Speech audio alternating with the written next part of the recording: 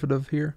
So what we'll use for implicit differentiation, anytime there's x and y together, we'll just use the product rule. So starting off with our first component here, take the derivative of with respect to x, we'll have 2xy plus derivative with respect to x, we have x squared dy dx plus um, same principle, 3y cubed, that's a derivative with respect to x, plus 3 times 3, so it's going to be 9x y squared dy dx.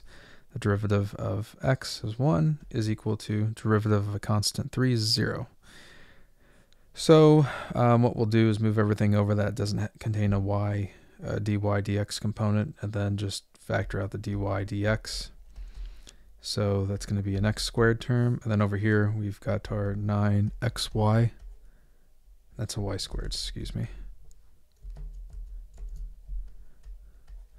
Um, it's going to be equal to negative 2xy minus 3y cubed because we're subtracting everything plus 1. And usually we put the positive values first, but that's fine.